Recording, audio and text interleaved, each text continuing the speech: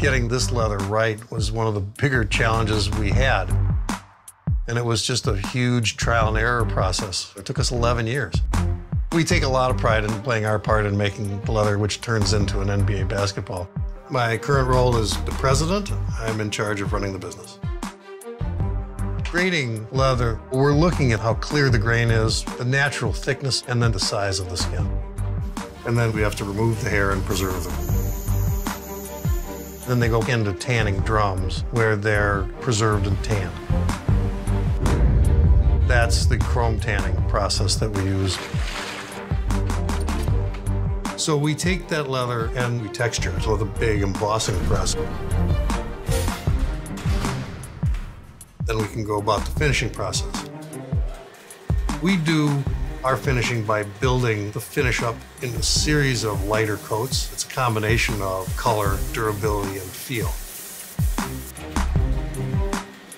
The feel, though, is very important. It's a performance instrument, so it has to feel right. Then the leather will be dried. At the end of that, after a series of checks and color matches, that leather will be graded and trimmed, and at that point, it's ready to be packaged and shipped. It's a function of the skill and knowledge of the guys that are doing it. We take a lot of pride in being able to turn on the TV and see something that we had a hand in making. We verify that we have 100% good product for the NBA. I'm in charge of making sure the quality is right on the NBA game ball. We first take the balls and we inflate them on some inflation stations. And then at that point, we have another operator that checks it manually with a gauge. We take it from that station to a measuring station where we measure the circumference, 29 and 5 eighths, 29 and 3 quarter inch. And then from there, we're making sure that a brand new ball meets the minimum rebound of 52 inches.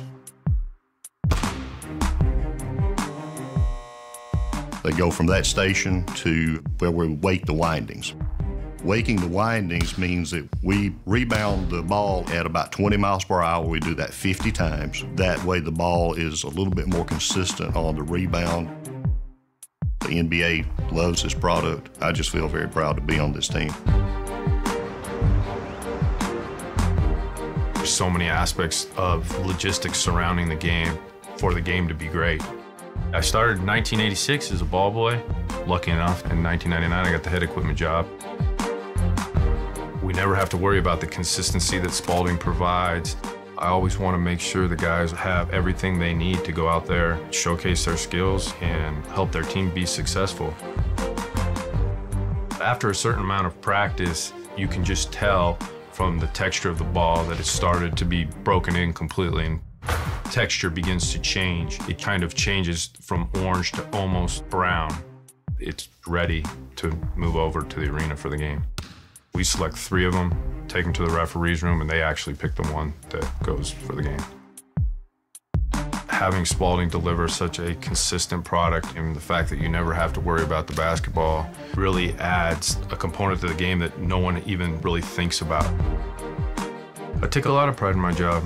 No matter what ball we use, we know Spalding's going to deliver the best product and going to be game ready for those big games.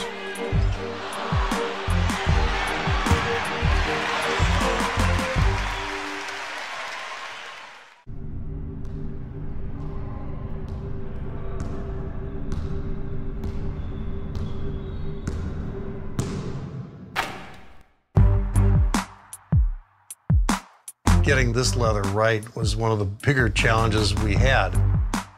And it was just a huge trial and error process. It took us 11 years. We take a lot of pride in playing our part in making the leather which